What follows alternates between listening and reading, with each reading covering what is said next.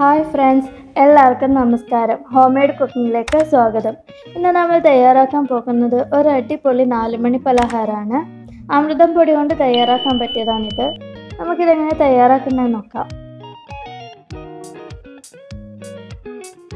അതിനായിട്ട് നമുക്ക് ആദ്യം തന്നെ വേണ്ടത് മീഡിയം സൈസിലുള്ള മൂന്ന് ഉരുളക്കിഴങ്ങ് വേവിച്ചിട്ട് ഉടച്ചെടുത്ത് വെക്കുക വേണ്ടത്. അപ്പോൾ നമുക്ക് ആദ്യം തന്നെ ഉരുളക്കിഴങ്ങ് വേവിക്കാം.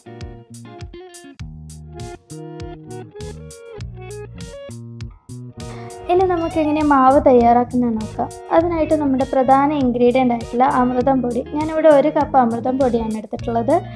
അമൃതം പൊടി എടുക്കുക. അതിനകത്തേക്ക് നമ്മൾ നേരത്തെ വേവിച്ച് വെച്ച ഉരുളക്കിഴങ്ങും കൂടി നന്നായിട്ട് ഉടച്ചിട്ട് ചേർത്ത് കൊടുക്കുക.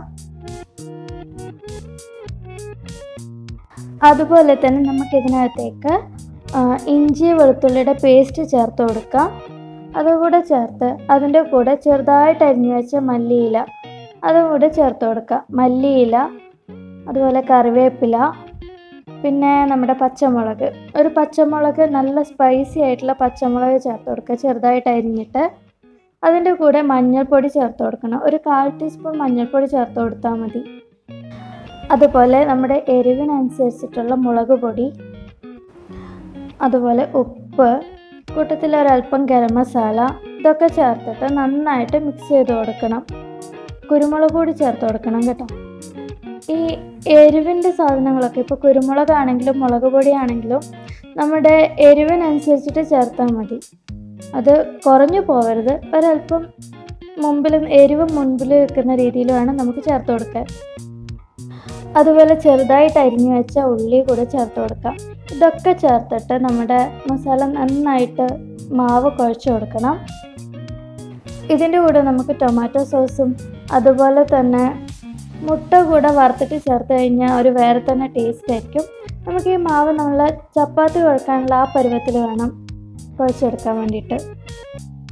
നമ്മൾ ഒട്ടും വെള്ളം ചേർക്കാതെ തന്നെ ഇത് നന്നായിട്ട് കുഴച്ചെടുക്കണം. വെള്ളം ചേർത്ത് കഴിഞ്ഞാൽ നമ്മളത് ഫ്രൈ ചെയ്തെടുക്കുമ്പോൾ ഉടഞ്ഞു പോകും ഇപ്പോൾ നമ്മുടെ മാവ് ഇവിടെ റെഡി ആയിട്ടുണ്ട്. ഈ ഒരു പരുവത്തിന് വേണം നമ്മുടെ മാവ് റെഡിയാക്കി എടുക്കാൻ.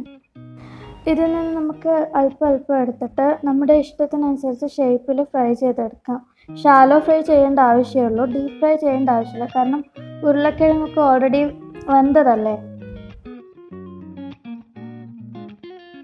ഞാൻ റൗണ്ട് ഷേപ്പിലാണ് ഇത് ഷേപ്പ് ചെയ്തെടുത്തിട്ടുള്ളത്. നമുക്കിതിനെ ഫ്രൈ ചെയ്യാം. അതിനായിട്ടൊരു പാനിൽ എണ്ണ ചേർത്തിട്ട് വെച്ചിട്ടുണ്ട്. എണ്ണ നന്നായിട്ട് ചൂടായതിന് ശേഷം ഇത് നമുക്ക് ഫ്രൈ ചെയ്തെടുക്കാം. നമ്മൾ മീനൊക്കെ ഫ്രൈ ചെയ്തെടുക്കും പോലെ എടുത്താൽ മതി. പക്ഷെ അത്രയ്ക്ക് സമയം വെക്കണമെന്നില്ല ഒരു രണ്ട് മൂന്ന് മിനിറ്റ് വെച്ച് വേവിച്ചാൽ മതി.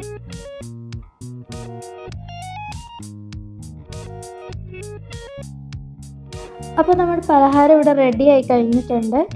നിങ്ങൾ എന്തായാലും ഇത് ട്രൈ ചെയ്ത് നോക്കണം.